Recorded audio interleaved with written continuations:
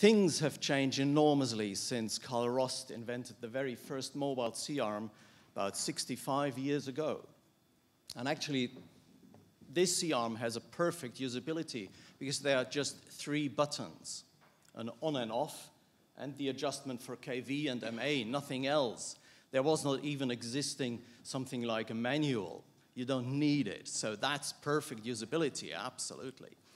Ziehm is offering you the largest portfolio of different C-arms, from the very basic Solo to the high-end RFD 3D, which includes a CT-like 3D imaging technology and the whole bunch of cardiovascular options. So how about our user interfaces? We only have one user interface.